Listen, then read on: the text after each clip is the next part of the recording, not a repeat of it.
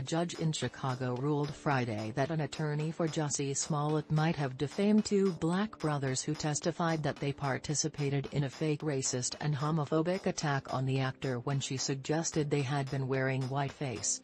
The Chicago Tribune reported that U.S. District J. Discussing how Smollett had told police that one of his attackers was white, Glandian said that the very dark-skinned brothers might have put makeup on to disguise their color.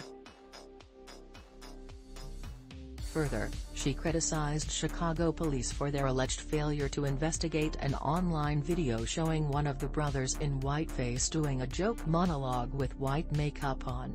Abimbola and Olabinjo Osundairo filed a defamation lawsuit, alleging that the comments were part of an effort to pour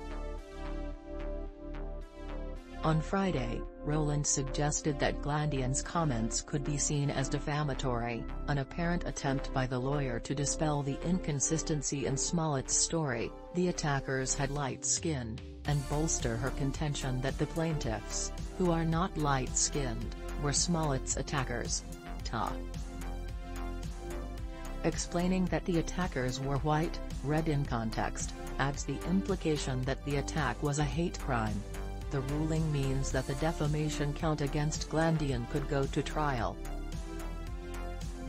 They look forward to their day in court and will continue defending themselves against other defamatory remarks, the brothers' attorney, Gloria Rodriguez, told the Chicago Tribune.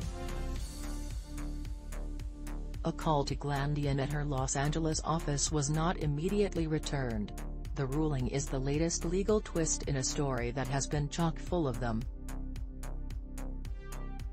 It started with a search for attackers that turned into an investigation of Smollett and felony charges against the actor for allegedly lying to police. Authorities said he hired the brothers to carry out a fake attack. Just last week, three months after a jury found him guilty of felony disorderly conduct, a judge sentenced the actor to 150 days in jail. Smollett was six days into his sentence on Wednesday when an appeals court ordered his release from custody pending an appeal of his conviction and sentence.